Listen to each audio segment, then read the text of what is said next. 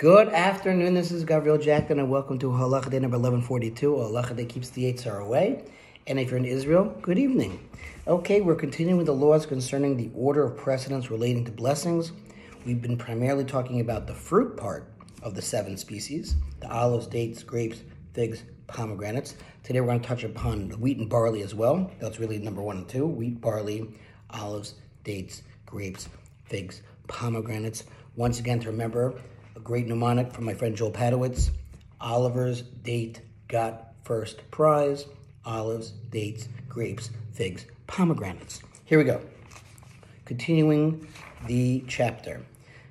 Again, of the laws concerning the order of precedence relating to blessings.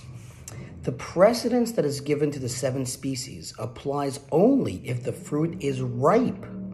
But if the fruit is unripe, it has no precedence because the Torah does not praise anything that is not suitable.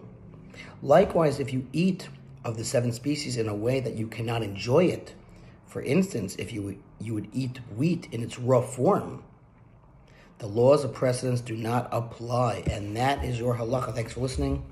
Sponsor feature halacha 36100 the gold. See you tomorrow.